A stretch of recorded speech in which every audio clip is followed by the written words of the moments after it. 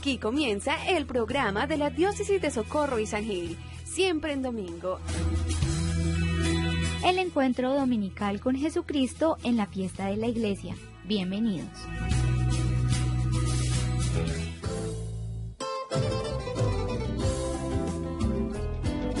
Muy buenos días para todos. Sean bienvenidas y bienvenidos a este su programa Siempre en Domingo, el espacio para compartir la palabra de Dios, el espacio para estar en sintonía con los hechos y aconteceres de nuestra diócesis de Socorro y San Gil. Bienvenidas y bienvenidos.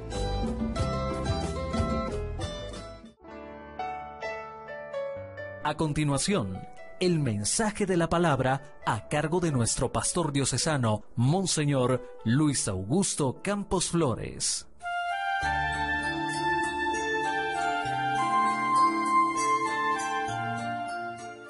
Muy buenos días, queridas hermanas, queridos hermanos. Nos encontramos en nuestra cita semanal siempre en domingo. Estamos celebrando el segundo domingo de la cuaresma.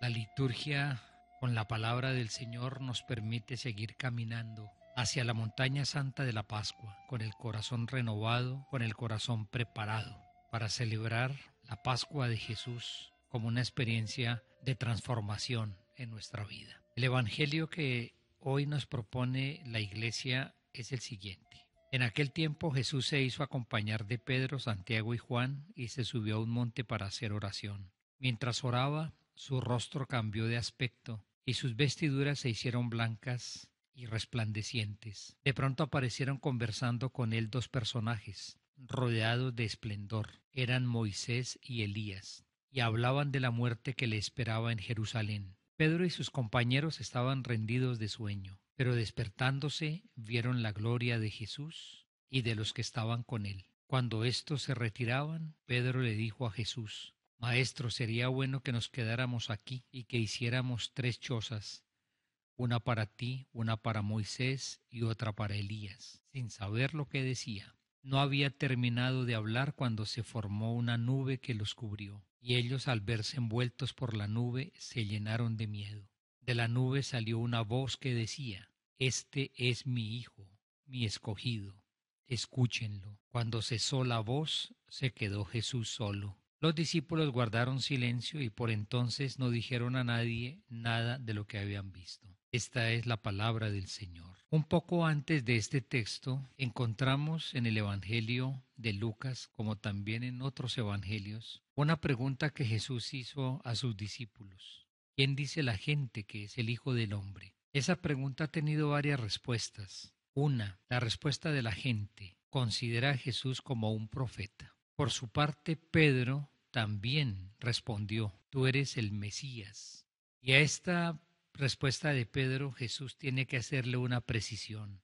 Es el Mesías, sí, es decir, el esperado, el enviado del Señor. Pero es el Mesías no como los discípulos lo esperaban, porque en ese instante Jesús anuncia que Él encarnará la presencia de Dios, pero que esa presencia será total en la cruz. Jesús habla de la gloria, no una gloria política, económica, sino de, la gloria del amor que resplandece en la cruz. Podríamos decir que a esta pregunta que hace Jesús se van a encontrar otras respuestas, no solamente la de la gente, no solamente la de Pedro. Y esas respuestas las hallamos hoy en nuestro texto bíblico del Evangelio de Lucas, que por otra parte van a profundizar lo que Jesús anunció. Él habló de la cruz. El escenario es muy hermoso, es la montaña, y el evangelista dice que Jesús sube a orar. Se trata verdaderamente de subir a la montaña de Dios. Es necesario dejar lo plano de la vida mundana para poder entrar en la mirada que el Señor tiene sobre la historia humana, para poder entrar en el proyecto de amor que tiene el Señor.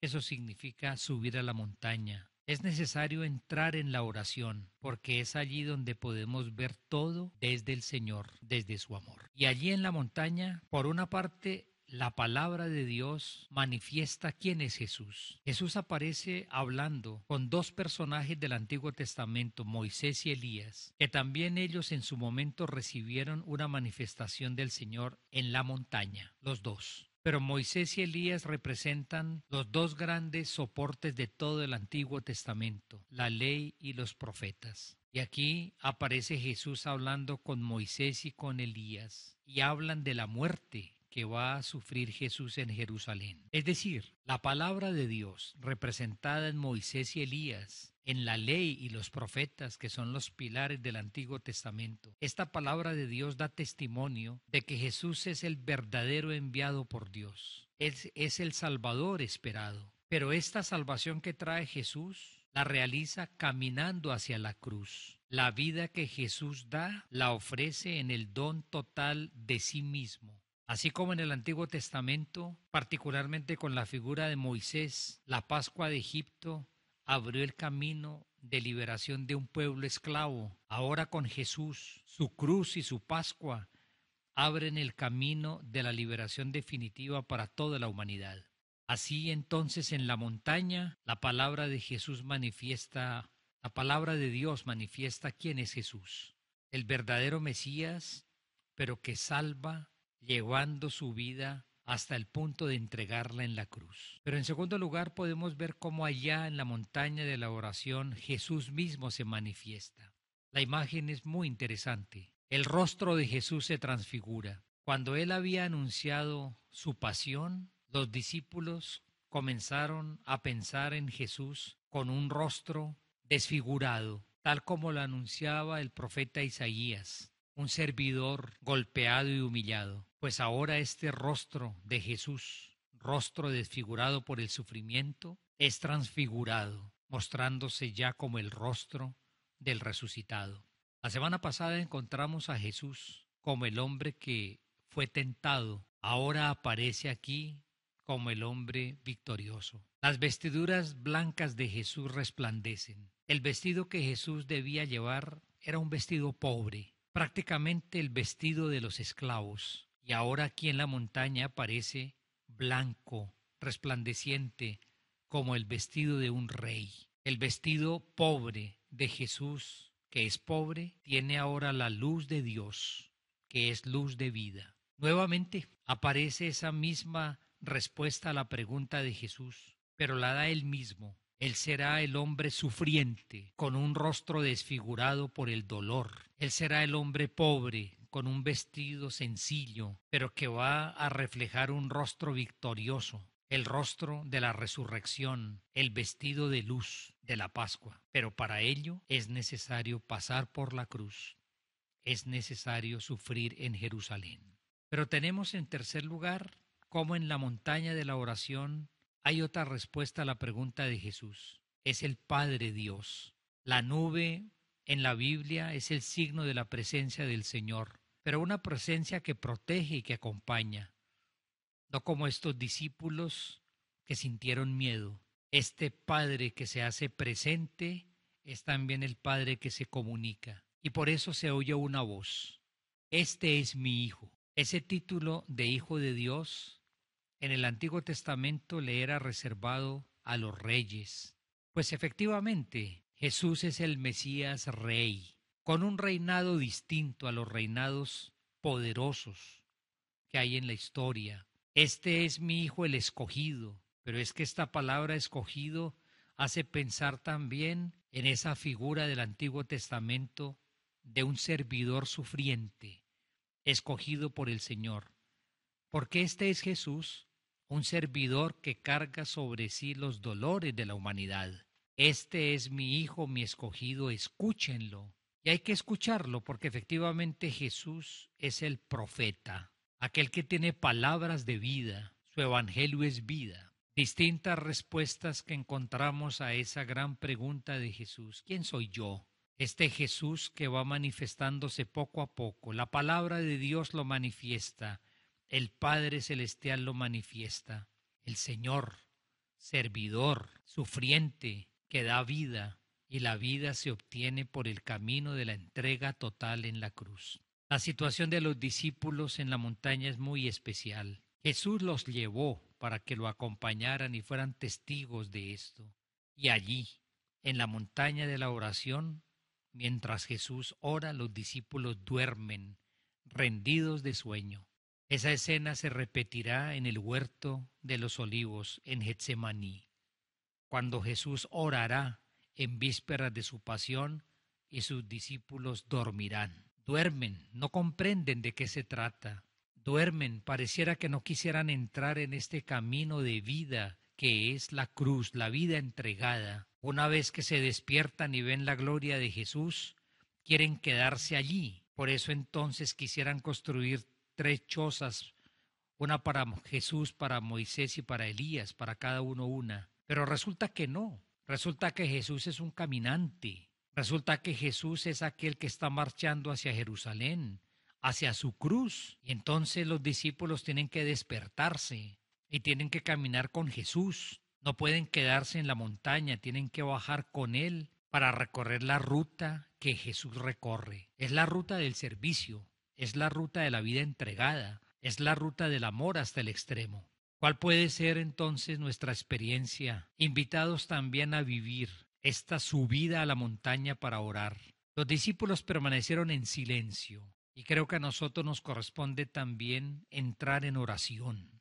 Se nos anuncia nuestra propia transfiguración y es un texto que hoy propone San Pablo de la carta a los filipenses. Nuestro cuerpo frágil, corruptible, será transfigurado en un cuerpo incorruptible, porque también nosotros participaremos de la resurrección. Ya de hecho lo estamos haciendo por el bautismo que recibimos, pero es necesario vivir la ruta del servicio, de la vida entregada de Jesús.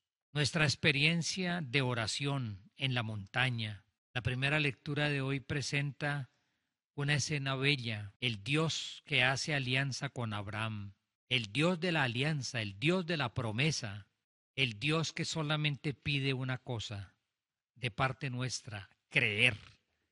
Y creer es aceptarlo a Él como el soporte de la vida. Nuestra experiencia de personas que oramos, la experiencia que nos hace ver nuestro propio futuro transfigurados, personas en alianza, pero hay que caminar por la ruta de la cruz, por la ruta del servicio, por la ruta de la vida entregada. El texto de San Lucas tiene un detalle que es muy hermoso. Al octavo día, dice San Lucas, sucedió esto.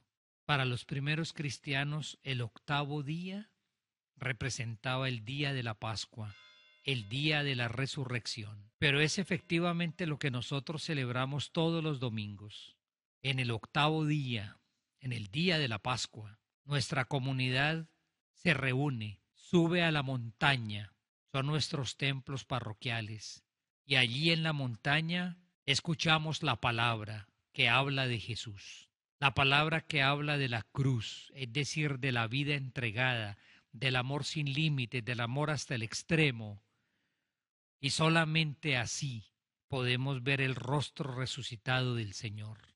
Allá, en la montaña santa de nuestra Eucaristía de cada domingo, encontramos también el rostro del Señor resucitado que se nos entrega como pan que da la vida. Y estamos entonces invitados, después de la Eucaristía y con la Eucaristía, a unir la vida nuestra a la de Jesús, a, la, a escucharlo.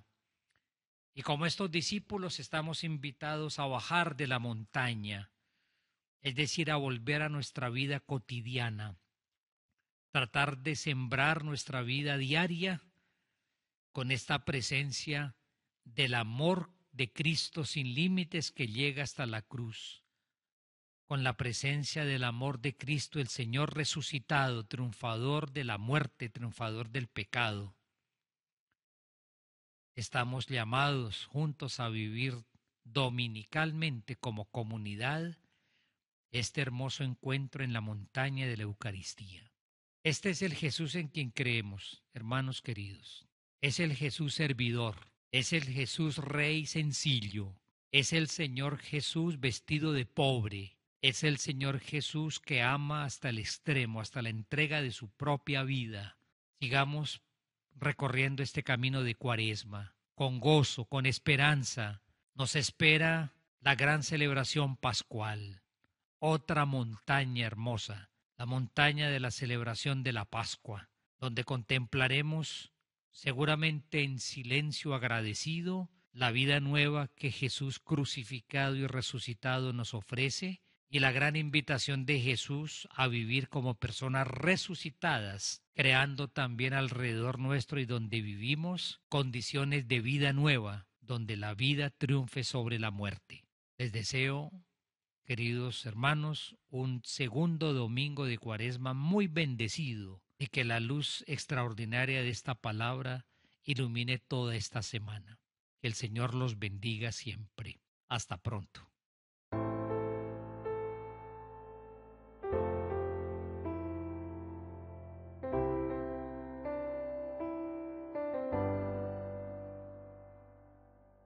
Queridos jóvenes, también Dios se fija en ustedes y los llama y cuando lo hace está mirando todo el amor que son capaces de ofrecer. Como la joven de Nazaret, pueden mejorar el mundo para dejar una huella que marque la historia, la de ustedes y la de muchos. La iglesia y la sociedad los necesitan. Christus Vivit, exhortación apostólica posinodal del Santo Padre Francisco a los jóvenes y a todo el pueblo de Dios.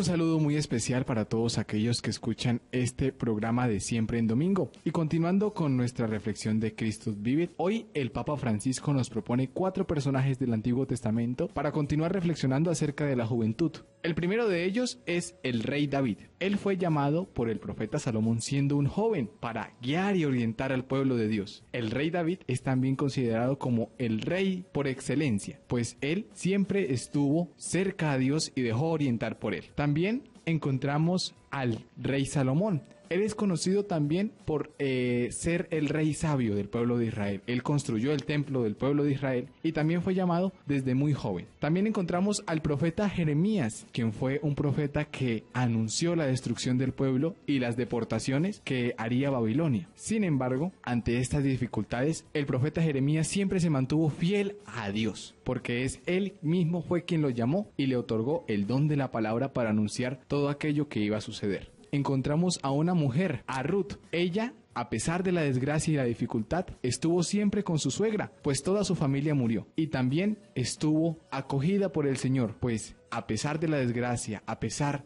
de la muerte y de todas las dificultades presentadas, se dejó orientar y guiar por el Señor. En todos estos personajes jóvenes vemos cómo actúa la gracia de Dios. Nosotros también como jóvenes debemos dejar que actúe su gracia en nosotros para que la iglesia continúe este camino de salvación y continúe llevando a todos la palabra que el Señor nos da. Que todos tengan un feliz día y que Dios los bendiga.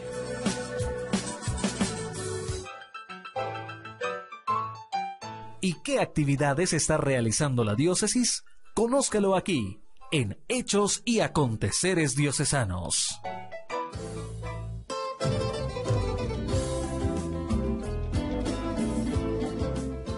Hemos llegado a este momento de los hechos y aconteceres de nuestra diócesis de Socorro y San Gil. Estamos acá con el padre Néstor, el padre José Isidro. Queremos presentarle los hechos importantes en nuestra diócesis de Socorro y San Gil en esta semana que pasó y la semana que viene. El saludo cordial para todos ustedes, queridos hermanos y hermanas que nos acompañan a esta hora del día en el programa Siempre en Domingo y en este espacio de los hechos y aconteceres en nuestra diócesis de Socorro y San Gil. El pasado martes se celebró el Día Internacional de la Mujer, esta celebración donde se exalta ese papel protagónico que tiene hoy la mujer en la construcción de la sociedad, también en la vida de la iglesia, el papel que tiene la mujer, protagonismo en nuestras parroquias, en nuestras comunidades. Quiero hacer eco del mensaje del Papa ese día a todas las mujeres. Dice el Papa, la sensibilidad actual reclama que se devuelva a la mujer la dignidad y el valor intrínseco con que ha sido dotada por el Creador. El ejemplo de vida de las santas pone de relieve algunos elementos que diseñan la feminidad tan necesaria en la iglesia y en el mundo.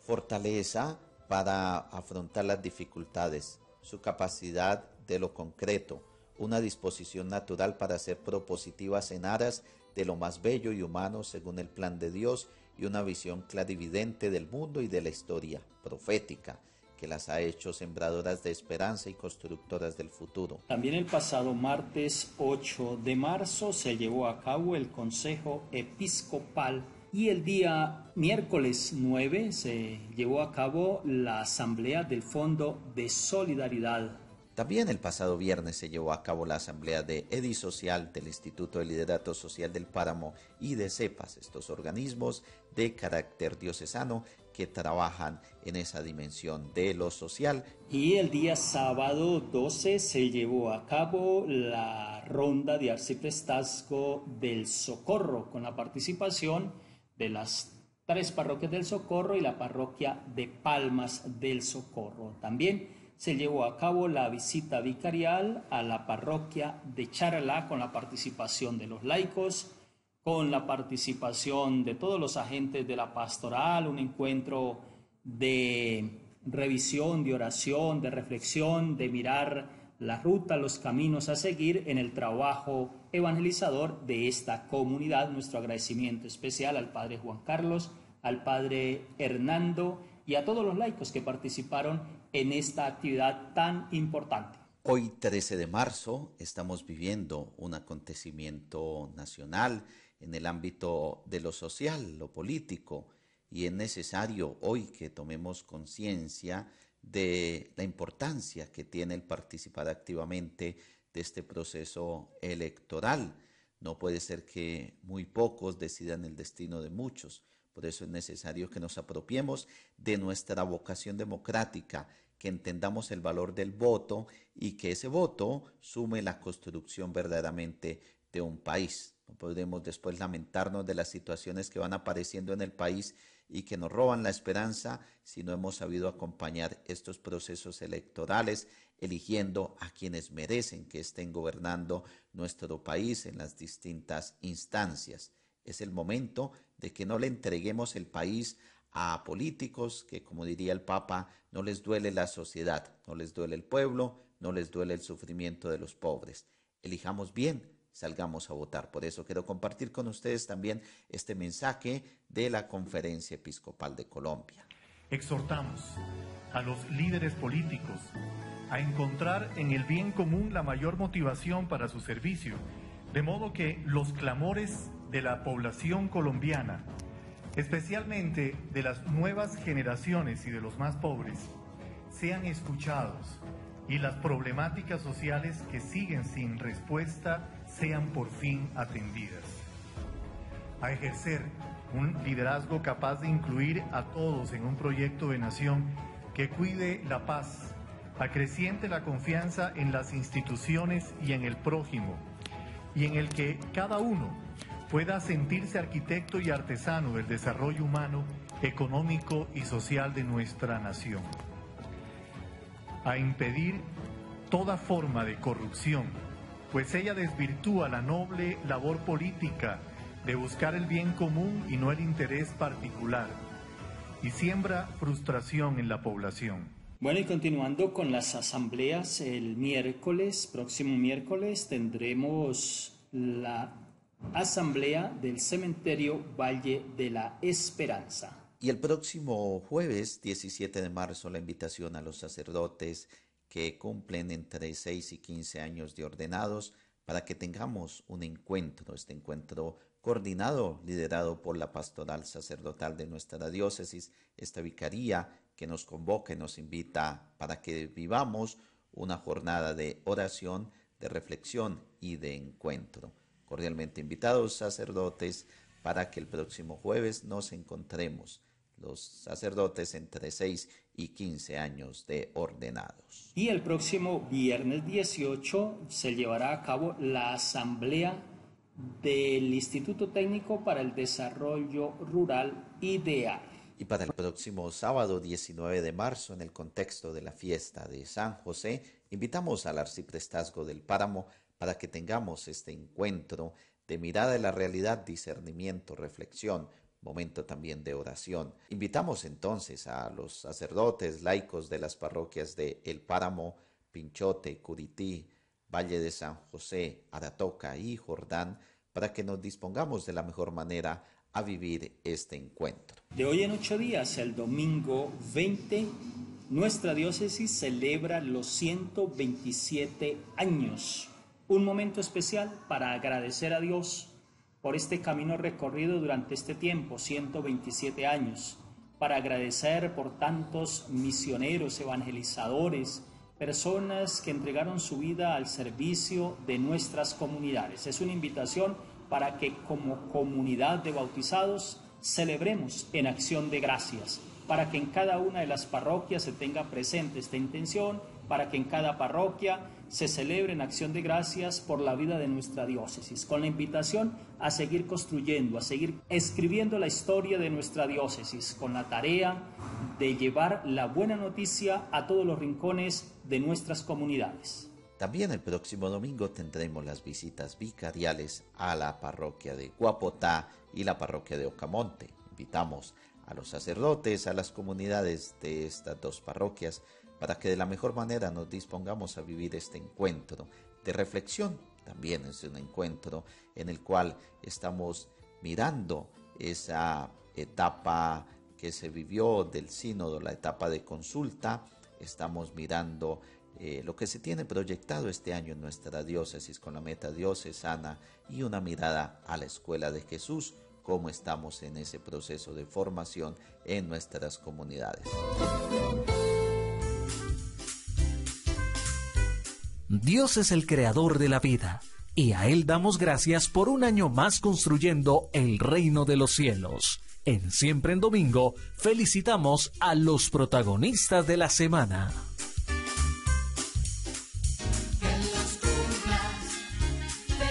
En esta nueva semana que Dios nos regala, con mucho gozo nos unimos a la alegría de nuestros hermanos presbíteros, quienes cumplen un año más de vida y con la gracia de Dios cumplen un año más de ordenación sacerdotal. El miércoles 16 de marzo nos alegramos por un año más de ordenación presbiteral del padre Luis Morales Suárez, párroco de Gámbita. El sábado 19 de marzo felicitamos a nuestros hermanos presbíteros Mario Aparicio, párroco de San Martín, y Nelson Arenas, adscrito a la parroquia Nuestra Señora de Chiquinquirá del Socorro, al cumplir un año de ordenación presbiteral. Con mucho gozo le deseamos un gran día al padre Wilman Barragán, quien está prestando servicios en la diócesis hermana de Vélez al cumplir un año más de vida a estos hermanos nuestros, desearles muchas bendiciones en su cumpleaños, que Dios derrame en ellos muchos dones y carismas en este gran día en el que cumplen un año de ordenación, que la Santísima Virgen María, Nuestra Señora del Socorro, los proteja en este camino hacia la santidad. Hemos llegado al final de este su programa Siempre en Domingo, deseándoles un feliz domingo para todos, deseándoles una feliz semana. Dios los bendiga. Finaliza por esta semana Siempre en Domingo. El programa que nos ayuda a vivir en comunión con Dios y en sintonía con nuestra Iglesia Universal. Feliz semana para todos.